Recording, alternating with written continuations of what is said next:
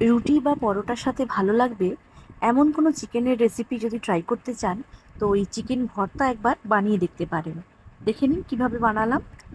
একটা সসপ্যানে জল দিয়েছি, তার মধ্যে একটু নুন আর একটু হলুদ গুঁড়ো দিয়ে চিকেনের কয়েকটা পিস একটু সেদ্ধ করে নেব। তো এখানে সবগুলো সলিড পিস রয়েছে, যেখানে কোনো হাড় থাকে না। তো সামান্য যদি কিছু হাড় থেকেও যায়, সেটা আমরা সেদ্ধ করার পরে বের করে নেব। তো এটাকে মিনিট পাঁচে ঢাকা দিয়ে এরকম মিডিয়াম ফ্লেমে ফুটিয়ে নেব, তাহলেই সেদ্ধ হয়ে যাবে। এইরকম সাইজের পেঁয়াজ চারটে টুকরো করে নিয়েছি, এগুলোকে চপ করতে হবে। যত মিহি করে চপ করা হবে, তত কিন্তু গ্রেভিটা ঘন হবে। তো এটাকে চপ করে নিই।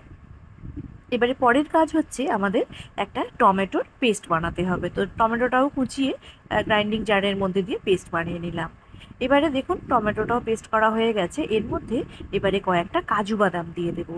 কাজু বাদাম যদি না থাকে, তাহলে কিন্তু চার মগজ দিয়েও এটা করা যেতে পারে। তো পেস্ট বানিয়ে নিলাম, এদিকে চিকেনগুলো সব সেদ্ধ হয়ে গেছে। এগুলোকে এবারে একটুখানি টুকরো করে নিতে হবে। তো দুটো কাঁটা চামচের সাহায্যে করলে এটা কিন্তু বেশ ভালো হয়, হাতেও লাগবে না। আর ছোট ছোট করে একদম টুকরো করে নেব। সমস্ত চিকেন পিসগুলোকে আমার টুকরো করা হয়ে গেছে, দেখুন। এটাকে এবারে একটা সাইডে রেখে দিয়ে এবারে আমরা রান্নায় ফিরে যাব। আর একটা ডিম আমাদের সেদ্ধ লাগবে। তো সেই ডিমটাকে সেদ্ধ করে নিচ্ছি। তারপরে সেদ্ধ করা হয়ে গেলে এটাকে টুকরো টুকরো করে নেব। এবারে ফ্রাই প্যানে দেব রিফাইন্ড অয়েল তার মধ্যে গোটা গরম মশলা দিয়ে দিলাম মানে দারচিনি, লবঙ্গ, এলাচ, তারপরে পেঁয়াজ কুচিগুলো দিয়ে নিলাম। তো প্রথমেই যে পেঁয়াজগুলোকে আমি চপ করে নিয়েছিলাম, সেগুলোকেই দিলাম। পেঁয়াজ কুচিগুলোকে এবারে তেলের মধ্যে নাড়াচাড়া করে হালকা করে একটু ভেজে নেব। খুব বেশি কিন্তু ডিপ ফ্রাই করব না। হালকা একটা কালার চলে এলেই কিন্তু পেঁয়াজটা ভাজা হয়ে যাবে। তো এই রান্নাটা কিন্তু অবশ্যই একবার করে দেখবেন রাত্রে। যখন আমাদের খুব বেশি কিছু রান্না করতে ইচ্ছা করে না, তখন চটচট কিন্তু এই রান্নাটা হয়ে যায়। রসুন কিছু কুচো করে রেখেছিলাম। রসুনগুলো একটু বড় বড় করেই কেটেছিলাম। তো সেই রসুন কুচিগুলোকে দিয়েও পেঁয়াজের মধ্যে ভালো করে ভেজে দিচ্ছি যাতে রসুনের কাঁচা গন্ধটা না থাকে। রসুন যখন ভাজা হয়ে যাবে, তখন এর মধ্যে পরিমাণ মতো নুন দিয়ে দেবো, হলুদ গুঁড়ো, লঙ্কার গুঁড়ো দিয়ে দিলাম, একটু ধনের গুঁড়ো, জিরের গুঁড়ো, যেগুলো ঘরোয়া মশলা আমাদের থাকে। আর চিকেন যে সেদ্ধ করেছিলাম, সেই সেদ্ধ জলটা ফেলবেন না, সেটা কিন্তু আমাদের এই রান্নার কাজেই লেগে যাবে। অন্য কোনো আমরা জল এখানে ব্যবহার করব না।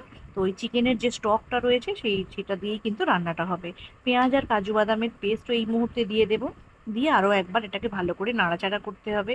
কারণ কাঁচা টমেটোর একটা গন্ধ আছে, সেটাকেও যাতে চলে যায়। সেই জন্য দু তিন মিনিট ফ্লেমটাকে মিডিয়ামে রেখে ভালো করে কষিয়ে নিলাম। এবারে চিকেন যেগুলো টুকরো করে রেখেছিলাম, সেগুলো এর মধ্যে অ্যাড করে দিলাম। মশলা কষা হয়েই গেছে, দেখে নিশ্চয়ই বুঝতে পারছেন। ওপর থেকে তেল ছেড়ে এসেছে। এই অবস্থায় কিন্তু চিকেনগুলোকে দিয়ে দেবো। দিয়ে একটু নাড়াচাড়া করে নেব। খুব বেশি মশলা কিন্তু আমি এখানে অ্যাড করিনি। একটু পেঁয়াজ কুচি, একটু রসুন কুচি, আদা তো এখানে লাগছেই না। আর ঘরোয়া যে মশলাগুলো সেগুলো দিয়েছি। তো আরও একটু চিকেন স্টক সেটাও দিয়ে দিলাম গ্রেভিটা তৈরি করার জন্য। যেহেতু রুটি বা পরোটা দিয়ে খাওয়া হবে, তাই খুব বেশি ঝোল কিন্তু এখানে হবে না। একটু গা মাখা মাখা হবে।